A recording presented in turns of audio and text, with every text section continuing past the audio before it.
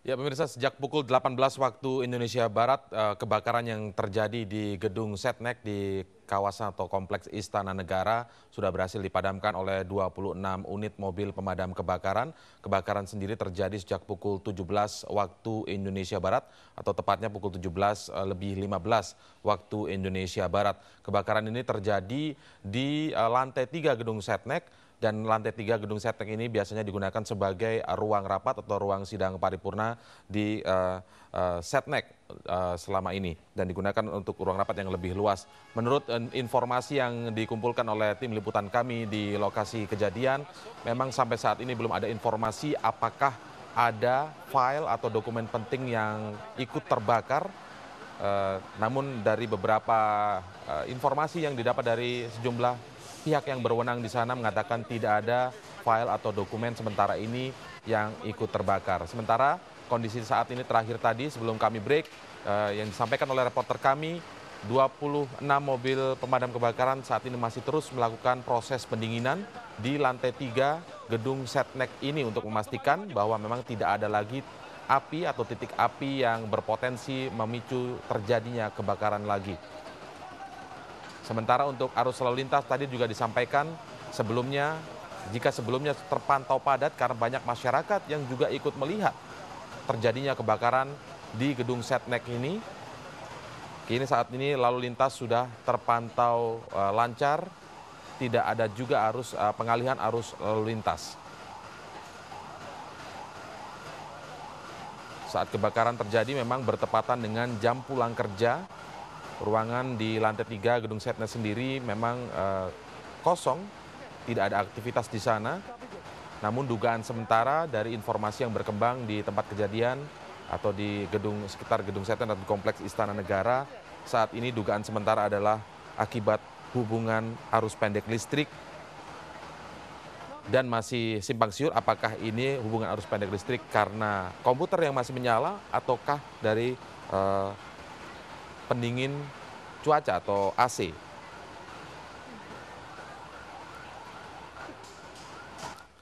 Kami terhubung kembali dengan staf khusus Presiden Bidang Komunikasi Politik eh, Daniel Swaringga. Pak Daniel, selamat malam. Selamat malam. Ya, Pak Daniel, mungkin Anda bisa ceritakan lagi, Pak, eh, kondisi terbaru di sana, apakah semuanya sudah eh, benar-benar dipastikan padam dan juga memang tidak ada lagi kepanikan di sana, Pak Daniel? Ya, dari perwira pemadam kebakaran yang bertugas di lapangan, uh, kita mengetahui secara langsung bahwa api sepenuhnya dapat dipadamkan. Hmm. Pun demikian, beberapa petugas tetap di tetap dikerahkan untuk tetap berjaga hmm. untuk memastikan tidak ada sumber api baru. Tapi terlihat uh, dari dari sini beberapa kendaraan pemadam kebakaran telah mulai meninggalkan uh, kompleks sekretariat negara yang hmm. berbatasan langsung dengan kompleks Istana Negara. Dan itu kabar baiknya bahwa um, tampaknya semua bisa dikendalikan. Semuanya bisa dikendalikan. Baik, Pak, kalau mungkin ada informasi dari uh, petugas dari pemadam kebakaran itu seberapa parah Pak kerusakan yang terjadi di uh, gedung Setnek ini, Pak? Uh, assessment terhadap itu sedang dilakukan oleh para petugas. -hmm. Sama penting dan itu adalah evaluasi terhadap semua hal yang terkait dengan uh, keamanan um, gedung, um, penyelamatan atas barang dan manusia saat ancaman itu diketahui pada tingkat yang paling awal, semua sedang dievaluasi, hmm. tetapi uh, assessment terhadap kerusakan um, ya baru saja dimulai. Oke, baru saja dimulai. Pak Daniel tadi sempat bertanya kepada perwira pemadam tadi ya, mungkin apakah hanya lantai tiga saja yang terbakar? Karena kalau lihat kita lihat dari foto-foto yang beredar tadi Pak dan juga gambar, kan apinya hmm. hanya terlihat di atap tadi begitu besar, tapi kemudian di ruangan-ruangan sebagian ruangan kaca terlihat pecah, tapi di ruangan yang lain tertutup Pak, tidak tidak terlihat ada api di situ. Apakah memang seluruh lantai tiga atau merembet ya. ke lantai dua tempat uh, Pak ya. Sudi Silalahi berkantor begitu? Atau uh, seperti apa Pak? Juga Laporan sementaranya. Pertanyaan beberapa orang ketika uh, terlihat asap hitam mengepul dari atap uh, lantai tertinggi, lantai yang ketiga, dan tapi pada saat yang lebih kemudian ketika beberapa petugas di sekitar negara melakukan checking hmm. terhadap mana uh, terhadap pertanyaan apakah masih ada karyawan atau pegawai yang masih tertinggal dari sana kita tahu bahwa seluruh la, la, lantai dua dan satu hmm. tidak tersentuh oleh api. Lantai dua dan satu tidak tersentuh oleh api, Pak ya? Iya, sejauh ya. pada saat dilakukan checking terhadap uh, apakah masih ada karyawan atau pegawai yang masih tertinggal di ruangan atau terjebak di dalam ruangan. Oke. Mungkin ada sempat mendengar juga atau sudah mendengar komentar dari Pak Sudi Silalahi sebagai Mensesnek tentang kebakaran atau peristiwa yang melanda kantornya ini, Pak Daniel? Eh, tidak, tetapi Sesmen Sekretaris Menteri Pak Lambok memang ditugasi tadi beberapa saat yang lalu bersama juru bicara Presiden menjelaskan beberapa hal penting di sekitar kejadian ini. Hmm. Tapi ya beliau masih bertugas di lapangan hmm. dan saya kira ya semua orang masih sibuk untuk memastikan ini dan itu. Oke, sejumlah uh, pejabat negara tadi yang sempat melihat uh, terjadinya kebakaran saat ini sudah berada di mana, Pak? Ya, semua pejabat setingkat menteri yang sempat melihat uh, tadi terlihat secara langsung misalnya Menteri Keuangan dan Menteri Kepala Bappenas itu ya sudah sudah meninggalkan uh, sudah meninggalkan, uh, sudah meninggalkan kompleks, kompleks istana ya lebih dari jam yang lalu. Tapi Bapak Presiden Ibu Negara sempat melihat dari kompleks istana negara yang cukup dekat untuk melihat jelas asap dan uh, api, tetapi cukup aman untuk menjauhkan beliau-beliau dari cahaya yang mungkin uh, muncul. Ya, Pak Daniel, kalau boleh tahu Pak, ini dari titik kebakaran ini di Gedung Setnek ini seberapa jauh dengan uh, jaraknya dengan uh, tempat Presiden biasanya rapat?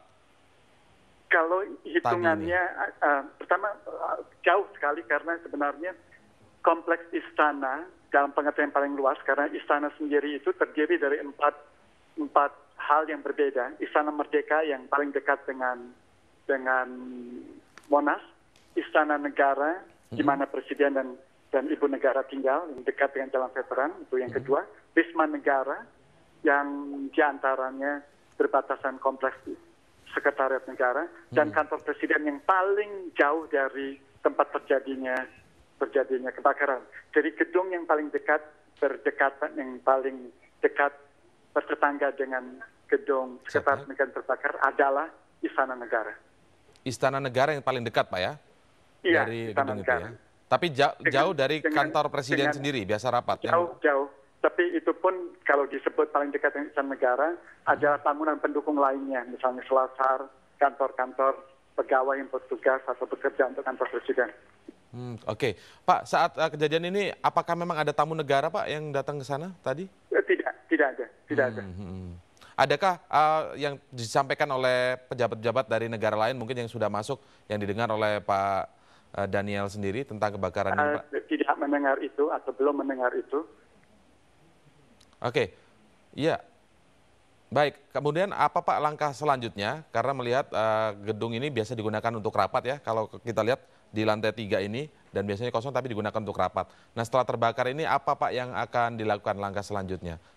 Pertama, gedung yang terbakar adalah sesekali dipakai oleh Presiden saat memimpin sidang kabinet yang diperluas. Uh, kata diperluas dimaksudkan untuk merujuk ketika rapatnya juga menyertakan pemelibatkan uh, pihak-pihak di luar kabinet karena hmm. jumlahnya kemudian menggunakan ruangan yang memang uh, mampu mengakomodasi jumlah itu.